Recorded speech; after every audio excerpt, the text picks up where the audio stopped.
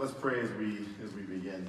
Lord God, we ask that you would speak uh, into our hearts this morning, uh, and we pray for the person uh, who may have fallen in the back or, or what's not sure what's going on there. We pray your hand of, of healing and protection beyond them. We thank you that you care for us, you love us. Uh, be with them now. And uh, we thank you for your presence here. This is your time. This is your service. Help uh, us to remove any kind of distractions um, from our, our head, uh, that we can just fully be devoted to you to hear what it is that you have to say to us in your word. We ask these things in Jesus' name. Amen.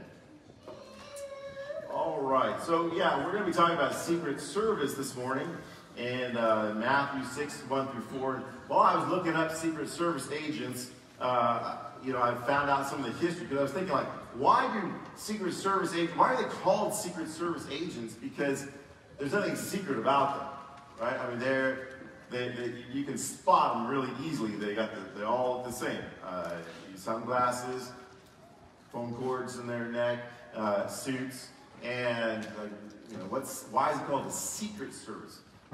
Well, did you know that the Secret Service was did not begin uh, as a protection for the president? The Secret Service was started by Abraham Lincoln back in the 1800s, mid 1800s to stop counterfeit money.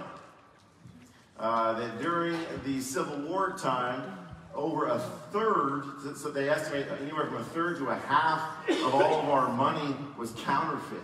Uh, because there was it wasn't centralized yet. Every state was making their own money, and so uh, President Lincoln started this group, the Secret Service, to go and combat counterfeit money. And it was very dangerous, and it was secret at that time.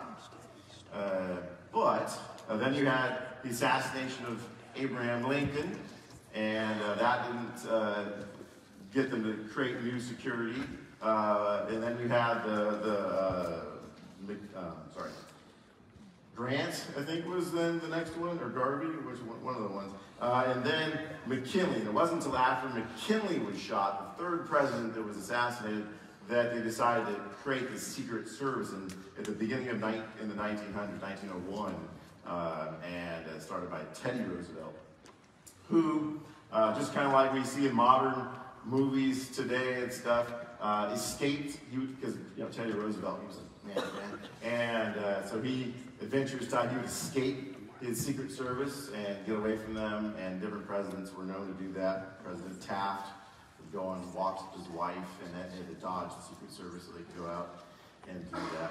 But uh, that's a little bit about the history of the Secret Service. So there still is today two branches of the Secret Service. There are the, the uniformed ones that we see and we know uh, and that aren't secret, but there is the secret Secret Service that are still count, uh, tackling counterfeit money and things like that. Uh, and we have been called by Jesus, as we're going to read today, to be Secret Service, but not the ones that are up front uh, and uh, well known, but the ones to be actually secret. However, there are times that we're supposed to be known too. And so we're going to look at this uh, as well as when should we be secret and when should we not be secret? Are we always to be secret? Let's read in Matthew 6, 1 through 4. We're, we're in the Sermon on the Mount. We've been looking at uh, the call of Jesus is preaching to his disciples, saying, This is what it looks like to be one of my followers. And now he's going to go into three different kind of acts of righteousness. And we're going to look at one of those today. Uh, but Matthew 6, starting at verse 1, says, Be careful not to practice your righteousness in front of others to be seen by them. Otherwise, you have no reward with your Father in heaven. So, whenever you give to the poor, don't sound a trumpet before you, as the hypocrites do in the synagogues and on the streets, to be applauded by people. Truly, I tell you, they have their reward. But when you give to the poor, don't let your left hand know what your right hand is doing so that your giving may be in secret, and your Father who sees in secret will reward you. So he's going to talk uh, here, he's talking about giving to the poor. Next week, we're going to talk about prayer And the third week, we'll talk about fasting. And so uh, these are three acts of righteousness that could be done publicly and were being done publicly to get attention. And he is uh, going to call us to this uh, more quiet, secretive act of uh, righteousness. Uh, and uh, so, once a few things to note. First, it says, whenever you give, whenever you give to the poor, what does that imply? That implies that we are giving to the poor. And there's different ways to do this. You, know, you can do this through through church. Uh, you give the church, and we give uh, portions uh, to help the poor. Uh, you can give directly to people who are asking or in need. You can hear about things, and you can say, okay, they're, they're, they they, they need something around. I know that they're a poor family. I want to bless them. All there are ways you can do this, uh, but it's implied that we are doing this. Okay? We as Christians are called to do that. Uh, this was this goes on uh, from the from the early times. Jesus or God always had an expectation of his people that they would be giving to the poor. Even back in Leviticus and Deuteronomy, when uh, you had the Israelites um, in the promised land, God told them, you know, don't harvest all of your grapes. Leave some of the grapes on, and if grapes fall on the ground, leave them so the poor could come in and pick grapes and have something to eat. Or when you harvest your fields at, at harvest time, don't harvest all the way to the edge of the field, so you leave some so that the poor could come and glean from the fields. And so that was an expectation. We were thinking, even in how we do business, that our, you know, we can be thinking about this today. We're not all farmers, but, uh, and it always doesn't apply today. We aren't walking around farms and picking. But uh, in our society, what could we do? And we're, we're thinking about making money. It's like, uh, how can we be thinking about uh, creative ways to help the poor. Uh, and then in Deuteronomy 15 11, it says, For there will never cease to be poor in the land, therefore I command you, you shall open wide your hand to your brother, to the needy and to the poor in your land. It's not being stingy, not, okay, I'll give you a little bit because God told me I got to give a little bit. Open wide your hand to the poor. And are we doing that? In Galatians 2.10, Paul uh, is talking about when you know he's got his mission to the Gentiles, and he took that, like, okay, is it okay for me to go to the Gentiles with the gospel? And he, and he goes to the leaders of the church, uh, Peter and James and all of them, and he says, okay, is this all right? And uh, they approved his ministry. He says, only they asked us to remember the poor the very thing I was eager to do. So when they say to him, okay, yeah, Paul, you can go minister to the Gentiles, but make sure you're taking care of the poor. I mean, is that important that they had to like specify that and call that out? Don't just be about the gospel, the good news. That's important. You got to give them the gospel, but make sure you're taking care of the poor. And Paul says, I was already eager to do that. It's something that's like, yeah, I'm going to take care of the poor. That's not something that any of us should neglect. So, whenever you give to the poor, assuming you are doing that, don't sound a trumpet before you as the hypocrites in the synagogues and on the streets. Uh, and so the, the, word hypocrite here was first used as act for actors. So don't be like the actors. Don't be acting don't be saying, hey, uh, look at me, how much I care about the poor, and you really don't care about the poor. All you care about is people praising you for caring about the poor. You're acting. Don't be an actor. Don't be a hypocrite. Uh, and then it says, do it in secret. Don't sound the trumpet. Uh, the, the, trumpet could be a literal trumpet. Uh, it's possible. We don't know. Uh, there's debate on this, whether they actually were blowing a trumpet or having somebody blow a trumpet when they put their money in the offering for the poor. Um, or it could have been describing the boxes that they had to collect for the poor in the temple and in provinces for people that couldn't get to the temple. Uh, they would have boxes and they were in the shape of a trumpet. And so could have been referring to that metaphorically. Uh, it, could have been talking about the, the trumpet that was sounded for the call to worship, and then just kind of going with that as part of their uh, giving. We're not sure. Or it could just totally be a metaphor, just like don't be blasting a trumpet. And he's not really meaning they're actually doing that. Uh, but don't be drawing attention to yourself.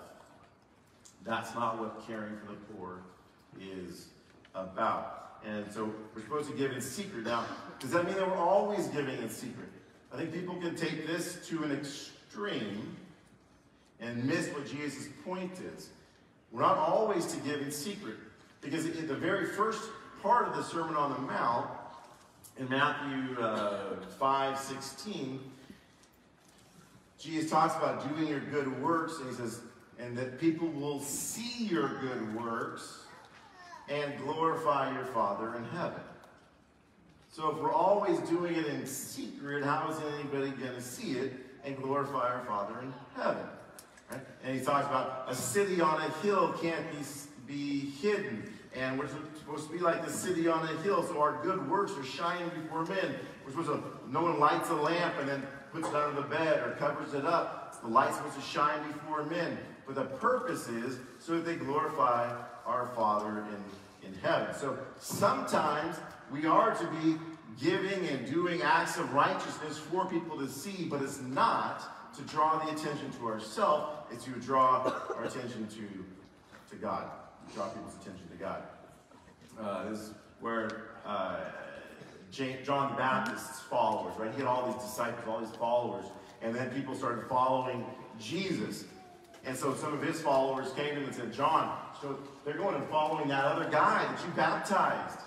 And he says, Yeah, that's that's the point. You know, he says, he says, uh, he must increase, I must decrease.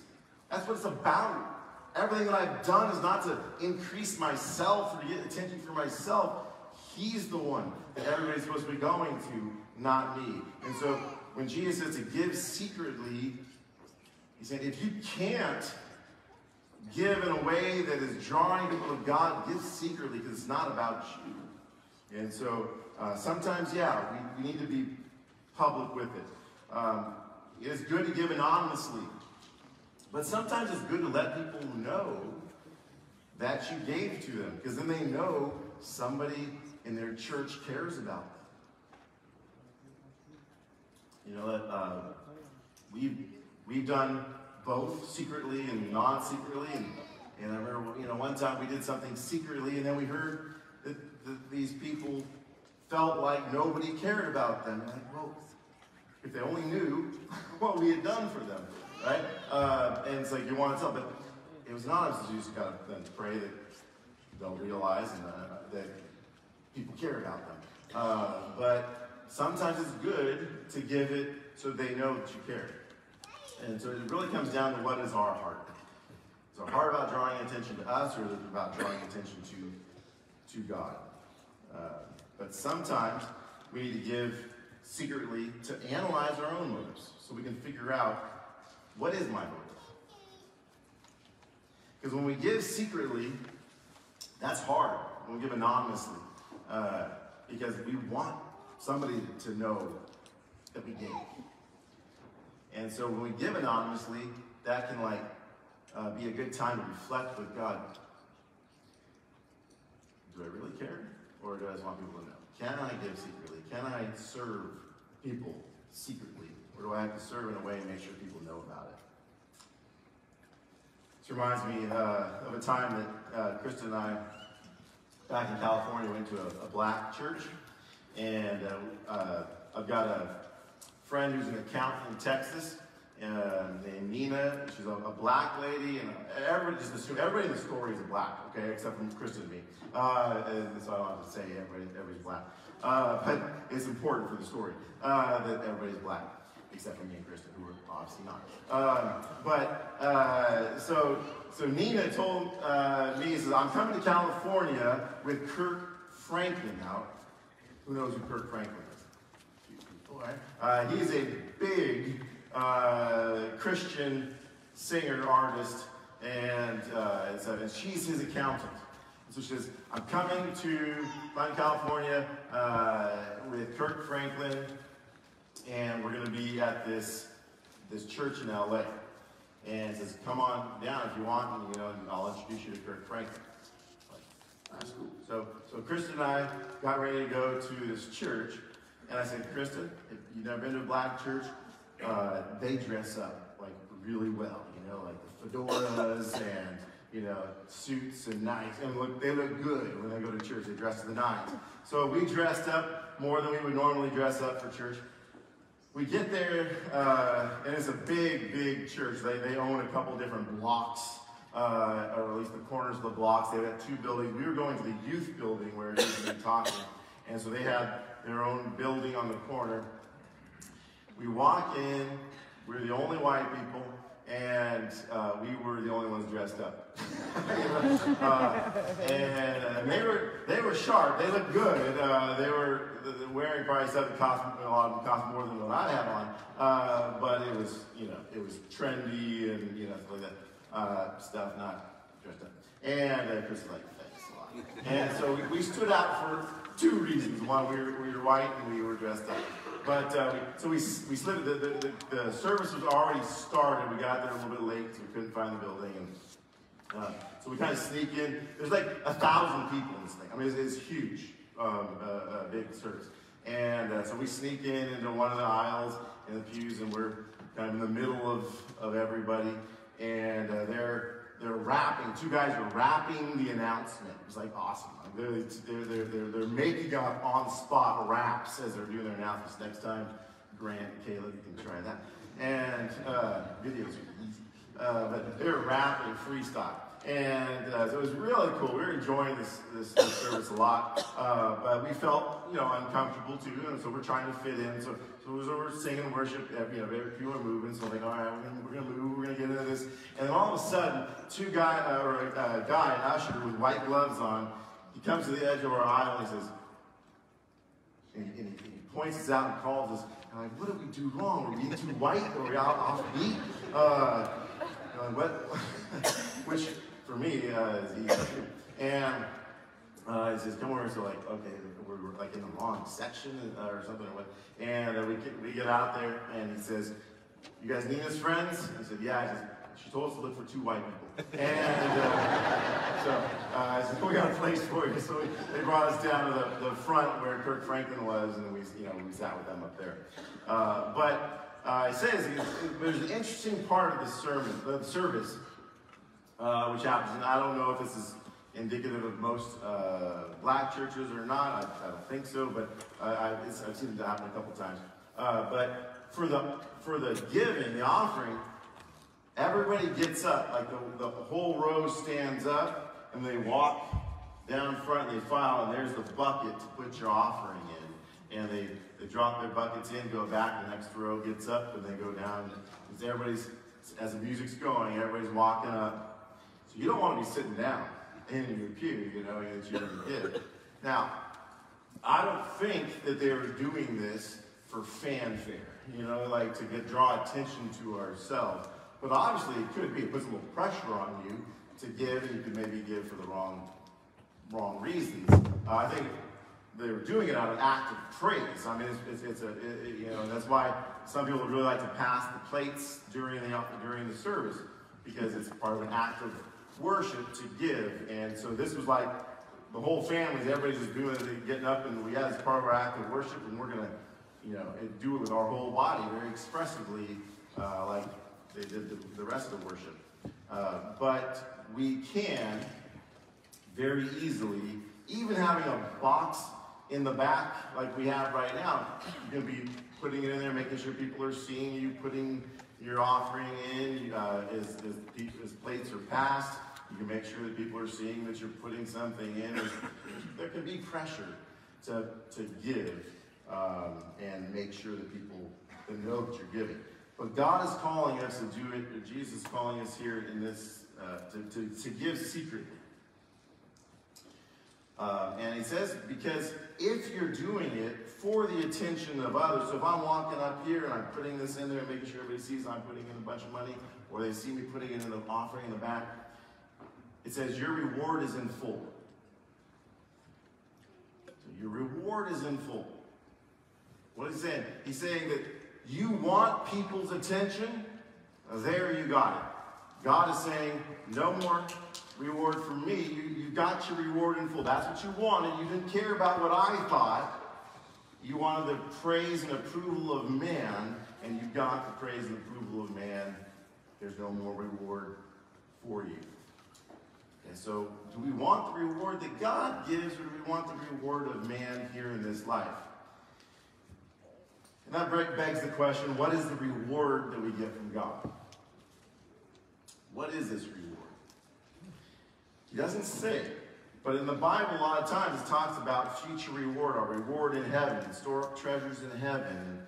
And, uh, and I don't know for sure what this is, uh, but the reward from uh, that he's talking about that you are going to get paid in full here was not a physical reward, it was praise, right? Uh, so if people praise you, you get your reward in full. It's not money, that's not riches, it's not a mansion, not, you know, it's just you got praise, that's your reward. Perhaps our reward from God is also not anything that is material or physical, uh, a better house in heaven or something like that, but rather the praise of God. When we stand before God and He says, Well done, good and faithful servant. When I want to stand before God and when I when I meet Him and not to feel humiliated, not to say, why didn't I do more? Why didn't I do better? No, I, you know, and uh, God looks at our life and it all burns up because it was just we didn't do anything for Him and for the kingdom. It was all for ourselves. Might have looked good on the outside, but it wasn't. I want to get there. God saying, Jeremy, well done. Well done, good and faithful servant. That's better than any other kind of reward that we could get in heaven. But he could be talking about some other kind of reward um, in heaven. He could be talking even about rewards on earth as well, because you know God does bless righteousness. Now, it doesn't mean that it, when bad things happen to us, that it means that we're being cursed by God. It could. Uh, it doesn't mean when good things happen to people that they're being blessed by God, but it could. Right? Job is the story that shows us that this is a principle that God blesses those who do righteously and that and he curses those who are unfaithful. But like with the story of Job, Job was the most righteous guy on earth, and all this bad stuff was happening to him. So there are plenty of exceptions to that. So just because things are bad in your life doesn't mean that you're being disobedient and unfaithful to God, but it could. You know, we don't want to ignore the fact that, that God does reward us even in this life as well. Uh, but there are plenty of people that don't get, that have a very difficult life, but they are living fully for God. So uh, it, it, could be an earthly thing too, as well. Uh, but I think the biggest thing is God's approval over man's approval. So that's kind of the, the text there. Now, why, the, the, the, big question is why do we do it? When we do acts of righteousness, whether that's prayer, whether that's fasting, whether that's giving to the, the poor, whether it's serving people, I mean, he just lists three, but there's plenty of acts of righteousness, things that we can do. Our motivation is what's important. And it's hard to judge somebody else's motivation, so this is for us to reflect prayerfully with God about our motivation. Now, I was had a friend in, in, uh, in Russia named Misha, who was not a Christian, but he spent two years with us, missionaries, and uh, I remember at the, the end of our uh, uh time there, getting ready to come home, I was having this really good, heartfelt talk with him, and he's really starting to kind of open up to Christianity. He was a staunch atheist, still is, and uh, he said, started talking about why we do good things, and I, I was explaining to him about salvation by grace, that we're saved by grace. It's not based on works. We don't have to earn our salvation. And he said, wait, wait, wait. You're telling me that you do all these good things not to, to earn your salvation? Uh, like that doesn't make any sense to me. It's like you guys are like, you Christians are like the, the nicest people I know. Like all my friends now are Christians. But I thought it's because you had to do that in order to go to heaven. And said, no. He said, well, this doesn't make any sense to me. I, I was kind of starting to think you guys made some sense, but now you don't make any sense to me at all. And he, he couldn't get past it. I, and I, and I, so I explained to him, I, I, I started going, numbering all the different reasons why we do good things, but it's not to earn salvation. And uh, he could not get past it. But he admitted that we were doing good things, and so it should be like evidence that, okay, these other motivations are sufficient. You don't need to earn your salvation in order to do good things. There's lots of cults and religion. Every cult and religion, I was telling him, requires good, doing good things to earn your salvation. That's why they promote good works. Other religions tithe and give money to the poor. Other religions uh, do missionary work. Other religions do good things, and sometimes on the outside they do better things than we do. But it's because they're trying to earn their salvation, and he could not get that, uh, get past that. And so uh, I want to talk about some of the reasons, some some motivations that we could have for doing good things, other than to gain the praise of people. Because um, that's an obvious one, right? We're motivated to do good things to gain the, the praise of people. But there's another one that's also not a good one, but it's becoming very popular um, in our society, is the law of karma. Kids, you've heard the law of karma. I, have had this quoted to me from one of my kids. Uh, it's being told out there, uh, this idea of, and you don't have to be uh, Hindu to believe in the law of karma. Uh, that's where it came from in Hinduism. But the law of karma is that if you do good things, good things will come back to you. And that motivates a lot of people in our society to do good things. Right? If I just am kind to other people, then it's going to come back to me. And that is false. Right? Uh, even atheists believe this. It doesn't make any sense if there is no spiritual world, why there, how there even could be a law of karma. Uh, but it is not true that if you do good things, that good things come back to you. That's not biblical. And that's not a good reason to care about other people because that's not really caring about other people. Uh, it's selfishness. It's just another form of me trying to get something for myself. And we got, as Christians, we got to really check ourselves. Why am I doing what I do? Is it really because I, in the end, want to get something out of it? And it could be even, uh, you know, a reward in heaven, right? I, I want a reward in heaven.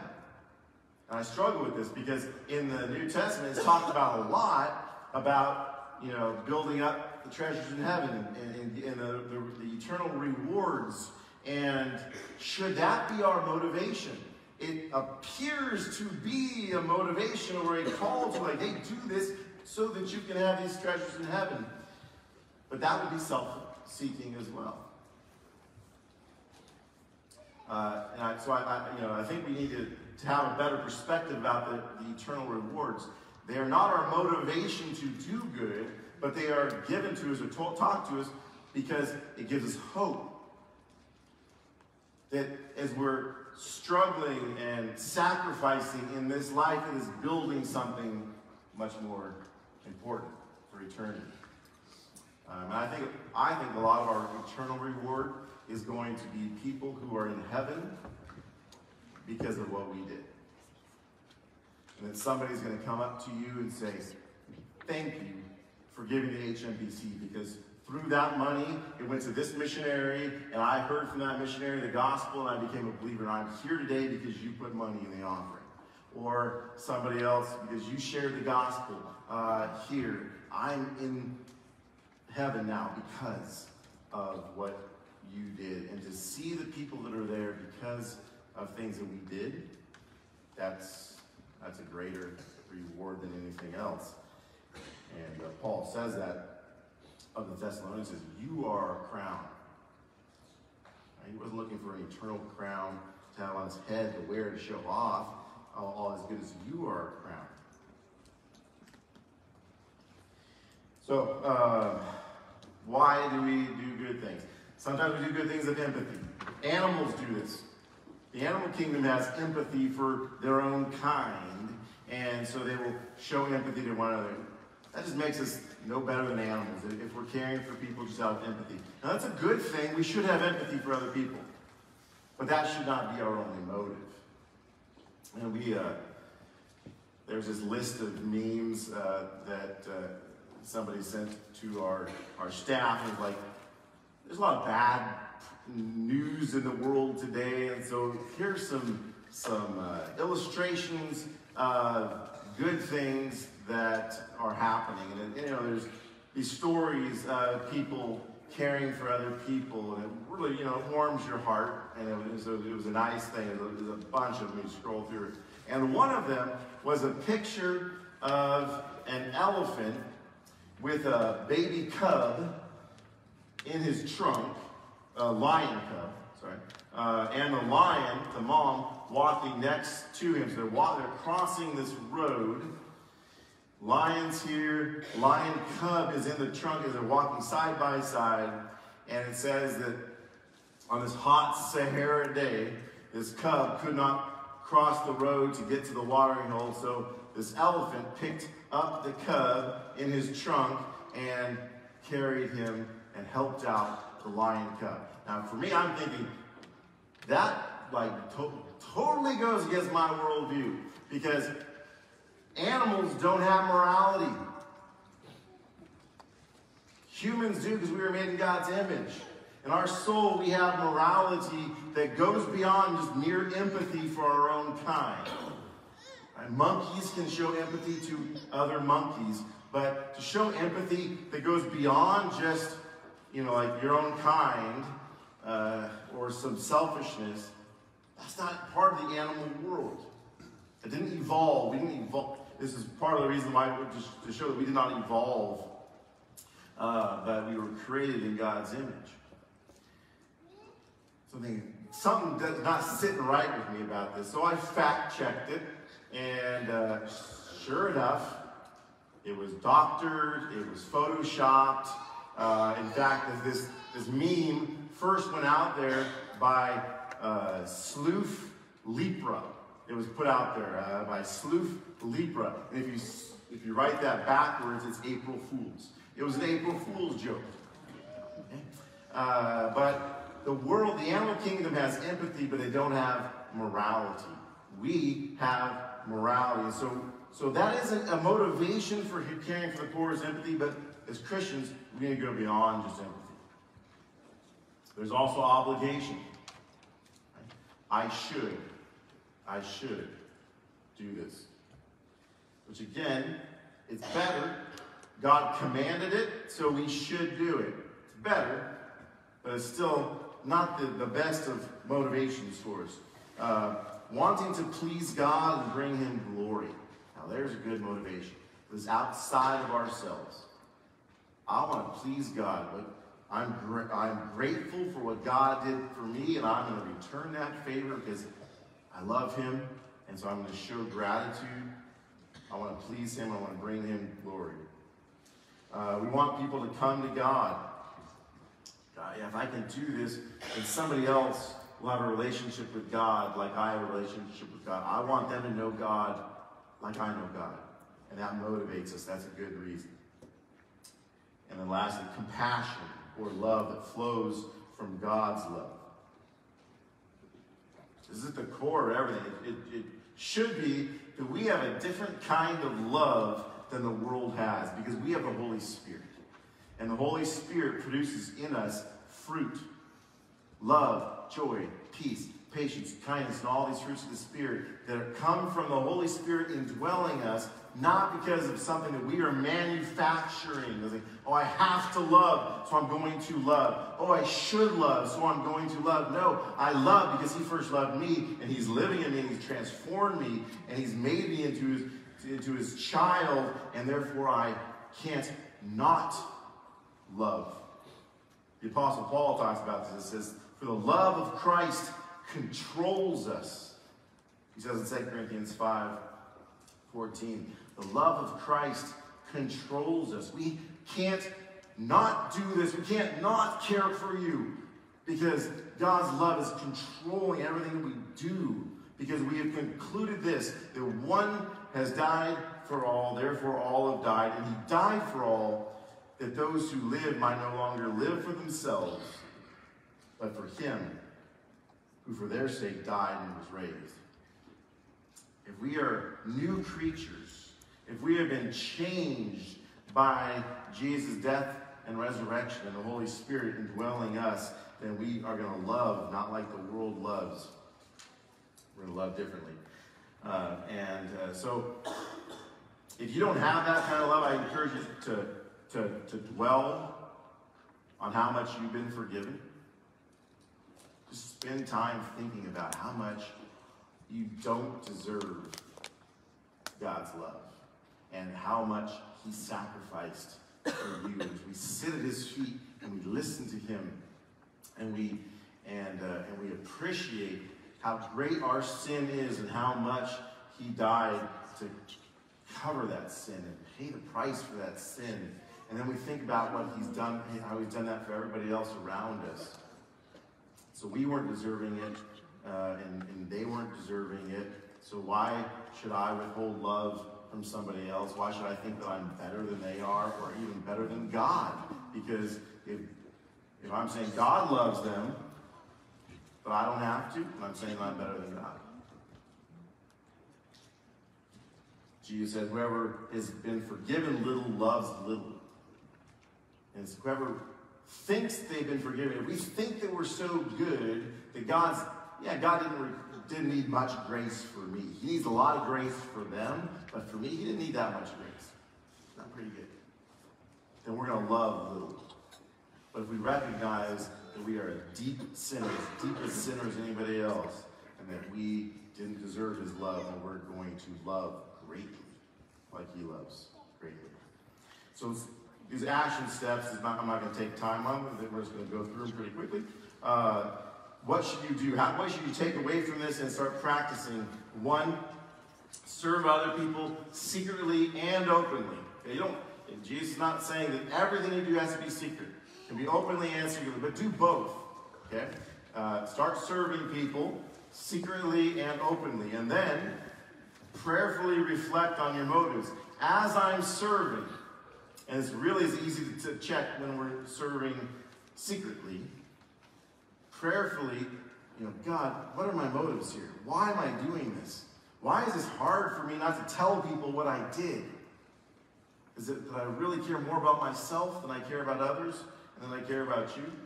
So prayerfully reflect on your motives. And then three, confess any impure motives. And yeah, I am selfish.